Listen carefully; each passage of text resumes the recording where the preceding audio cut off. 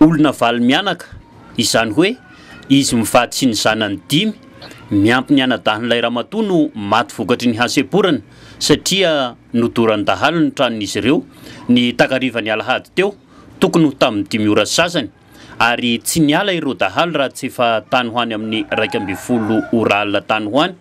hoy ny mpiray vodirindrina tao amin'ny tanànan'Ambalamahasoa, fokontany Morarano, kaominina Fiadanana, distrikan'Ambohimahasoa, faritra Matsiatra Ambony. Tafo bozaka moa ilay trano ka ny tafo no narihitr'izy ireo voalohany. Rehefa izany dia nalain'izy ireo indray ny bozaka nivangongo teo an-tokotany izay nokasaina hanafoana ny trano teo anilany mbola an-dalam-panamboarana.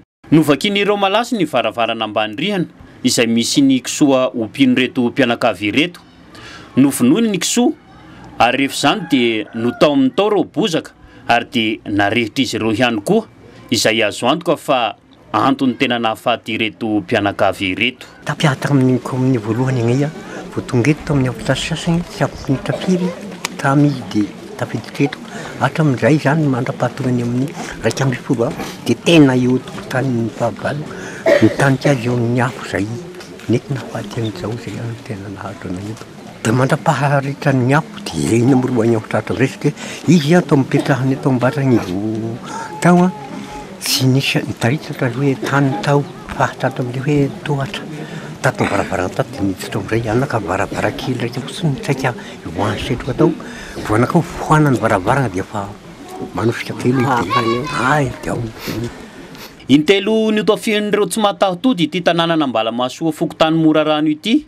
Tao anatin'ny herinandro monja, ny voalohany, ny sabotsy voalohan'ny volana jolay alina, ka lasan'izy ireo tamin'izany ny kisoa telo tao an-tanàna. Ny faharoa kosa dia ny alarobia fahadimin'ny volana jolay. Tongan'izy ireo tamin'izany indray ny kisoa roa. Tamin'ity fanafihana faharoa ny tanàna ity dia efa tafiditra tao amin'ity tranoma ity ireo mavo saika haka ny kisoa tao. Namaly anefa ilay raim-pianakaviana ka nahafaty iray tamin'izy ireo. Fa ny fanafihana fahatelo dia ny alahady teo ity, izany hoe ny fahasivin'ny volana jolay, izay nandorany ny trano ka nahafaty ireto ankohonana ireto, izay tombanana ho valifaty tamin'ny nahafaty ilay namany.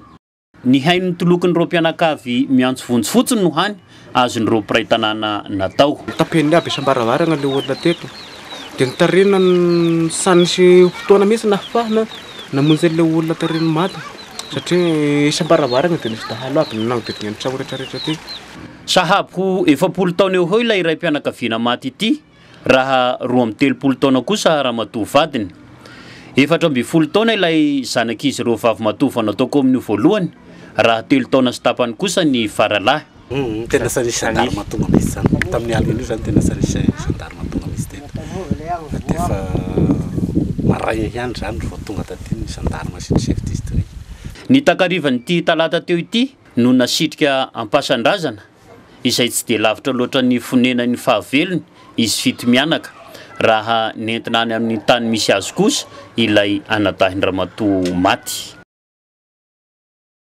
Araka ny antontan'isa izay navoaka ofisialy amin'ny tahan'ny fampidirana herinaratra eto Madagasikara dia mbola ambany dia ambany izany, hoy ny mpikaroka malagasy iray. satria latsaky ny efatra isan-jaton'ny Malagasy tantsaha no mba misitraka izany angovo izany, latsaky ny enina ambin'ny folo isan-jato kosa ny ety an-drenivohitra. Mazava loatra fa ny dimy amby valopolo isan-jaton'ny Malagasy dia mbola miaina ao anatin'ny haizina, tsy misitraka izany angovo izany.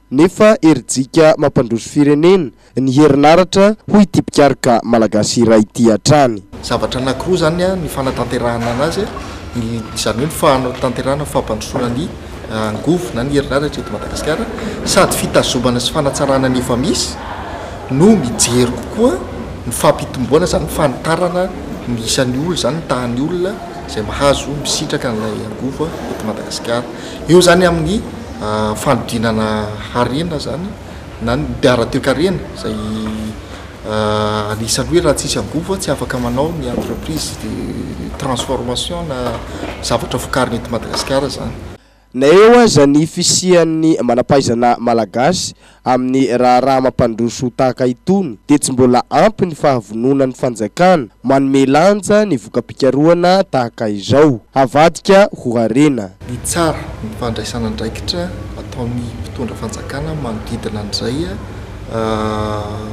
voka-pikarohana izay izany, izany hoe ny fanatanterahana, satria ny mpikaroka tsy afaka manao tanteraka fa mpikaroka izy dia manolotra ny soso-kevitra any amin'ny fitondram-panjakana, izany hoe conseiller ny fanjakana izy.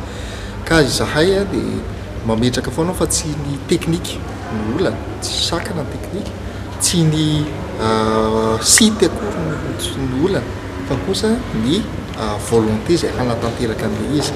Ka izao izao tsika telo taona, telo taona sy tapany, tokony hisy ary appel d'offre maro be izany mandeha amin'ny milieu rural fa anjarantsika izany mijery an'izay hoe ahoana ny fanatanterahana an'izay. Izay izany angatahana fanjakana ny manamora ny lalàna décentralisation amin'ny resaka électricité eto Madagasikara. Mpanao politika malagasy anisan'ny fototra nanimba ny foto-pisainan'ny mpifidy malagasy satria lasa kolontsaina iainan'ny ampahatelon'ny malagasy izay mpandray anjara isaky ny misy fifidianana ny fanaovana safidy misy takalo ohatra tsy mifidy olona iray raha tsy mpanam-bola ka matolotolotra sy matambitamby ara-materialy.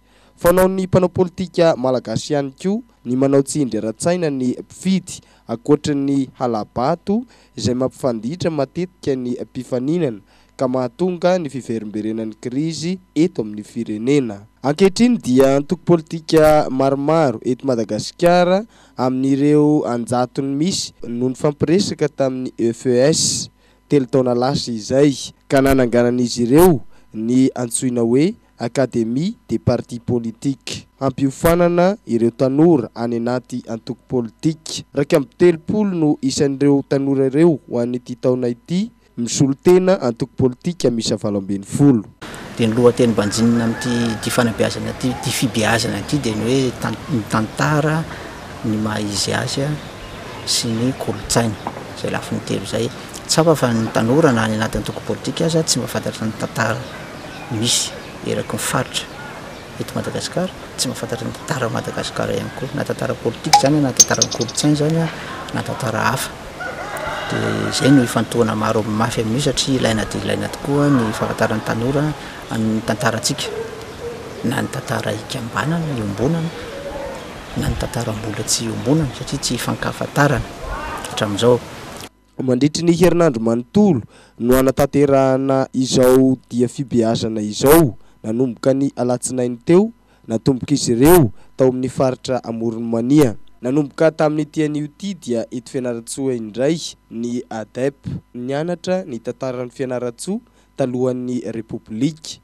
Arahan'ny fitsidihana ny toerana hahafantarana manokana izany tantara ny Fianarantsoa izany.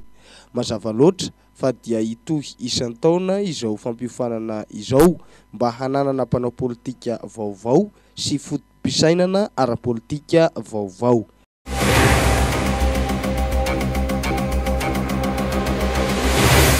fotodrafitrasa goavana. Tafiditra ao anatin'izany ny hopitaly, ny centre de formation professionnelle na ny ivoteram-piofanana arak'asa marolafy izay atsangana eny amin'ny fokontany Ambohimanarivo ato amin'ny distrikan'Antsirabe voalohany, izany hoe ato amin'ny tampon-tanànan'Antsirabe ambonivohitra. Fiaraha-miasa iarahana amin'ny fanjakana Marôkana, fanomezana manokana avy amin'ny mpanjaka Mohamed vi amin'izao fandalovana sy fanaraha-maso ataon'ny Masoivohom-pirenena Marôkana miasa sy monina eto Madagasikara sy ny Sekreteram-panjakana Marôkana eny anivon'ny raharaham-bahiny Marôkana dia fantatra fanomboka tsy ho ela ny asa fananganana hisy ny fanaraha-maso maro samihafa manoloana ny fizotry ny asa mba hanatratrarana ny tanjona sy ny fenitra mba hahafahana mahazo fotodrafitrasa azo antoka sy maharitra. Alors nous avons d'excellentes relations avec Madagascar donc ça a été une occasion pour nous de de faire une visite de terrain pour le centre de formation